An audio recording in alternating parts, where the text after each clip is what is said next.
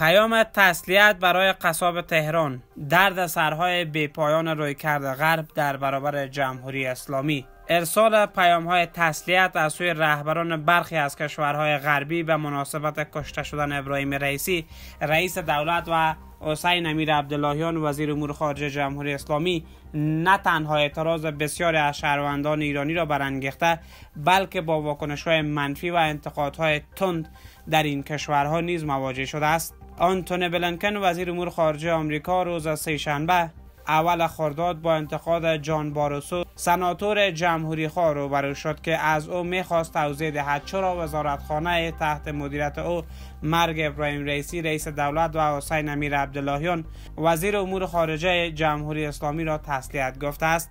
بلنکن در پاسخ به این انتقاد تاکید کرد که موضوع واشنگتن در قبال تهران دستخوش تغییر نشده است. بلنکن افزود. وزارت امور خارجه ایالات متحده در اقدام رسمی و مسبوق به سابقه کشته شدن رئیسی را تسلیت گفته است.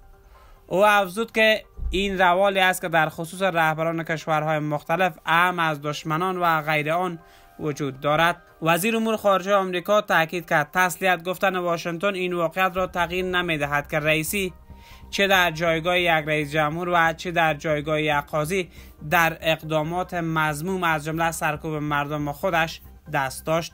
اما جان باروسو در پاسخ به وزیر امور خارجه آمریکا گفت این که دولت آمریکا برای مرگ قصاب تهران عزاداری می کند تکان دهنده است.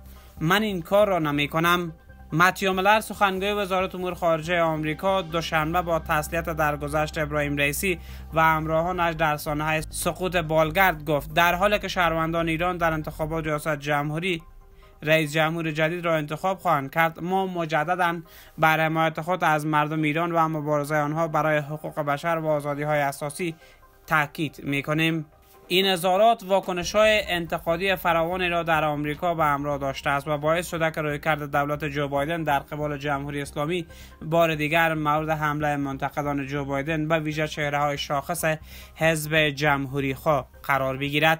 تدکرو سناتور جمهوری خواه و عضو کمیته رابط خارجی سنای آمریکا هم از آنتونی بلنکن پرسید که چرا فروش نفت ایران از 300 هزار بشکه به 2 میلیون بشکه رسیده است. بلنکن در جواب گفت زیرا جمهوری اسلامی برای انجام این کار مصمم است و واشنگتن نیز مصمم است این روند را قطع کند.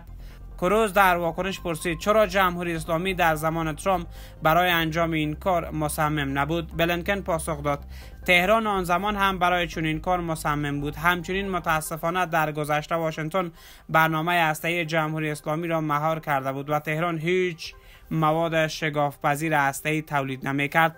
تد کروز گفت با مرگ ابراهیم رئیسی جهان جای بهتری خواهد بود.